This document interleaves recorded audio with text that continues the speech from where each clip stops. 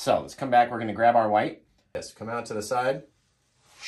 Let it fall down just like that. Oh, you know, I mean, you don't even need to do it more than a couple times. If it works perfectly on your first go, then lucky you. Bam, very cool. Scrape up a little bit of white and just have a few little white details in there. Scrape all that up and we came back in here and just very lightly let knife anyway, not the brush.